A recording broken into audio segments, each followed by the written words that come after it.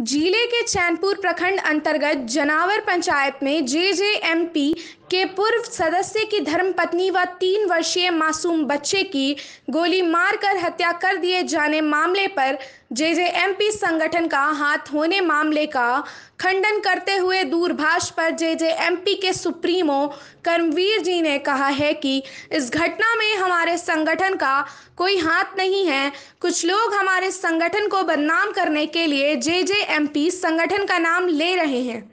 सदस्य अशोक लकड़ा उर्फ़ अमरजीत के पत्नी व बेटी की हत्या के मामले में पुलिस अधीक्षक डॉक्टर एहतेशाम वकारीब ने आज अपने कार्यालय कक्ष में एक संवाददाता सम्मेलन आयोजित किया। पुलिस अधीक्षक ने बताया कि बीती रात अमरजीत मोटरसाइकिल में सवार होकर अपने परिवार सहित गाँव जा रहा था। इसी बीच अज्ञात अपराधियों ने नवरटोली व जनावल गाँव के बीच अंधाधुंध फायरिंग कर दी, जिसके कारण उसकी पत्नी एवं उसकी बेटी की घटना स्थल पर ही मौत हो गई थी। इस गोलीबारी में अमरजीत घायल हो गया था, लेकिन वह किसी तरह भागने में कामयाब हो गया था। ये मामला है, रात्रि में मुझे सूचना मिली थी।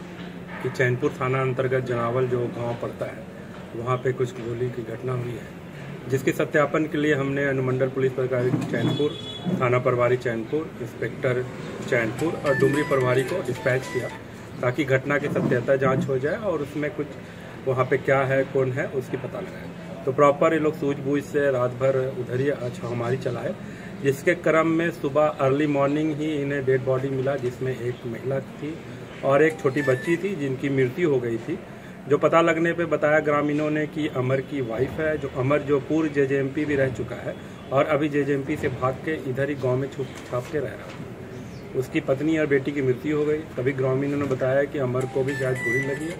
इसी को लेके हम लोग लगातार अभियान जो हमारा था, उसमें हम लोग सूझबूझ से काम लेते हुए अमर, जो पहले भी केस में वांटेड है, उसको अरेस्ट किए।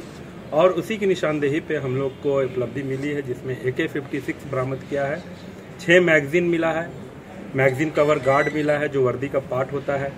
मोबाइल मिला है और घटना स्थल से स्थल से खोखा भी बरामद हुआ है। सर घटना जो अमर है जो इंजर्ड है अभी पुलिस कस्टडी में है वो बता रहा है जिसका फर्द बयान नोट किया गया है कि उनके ही साथी हालाँकि वो किसी को देखा नहीं है जैसा बताता है लेकिन बोला कि हम मेरे ही पूर्व साथी द्वारा घटना को अंजाम दिया गया।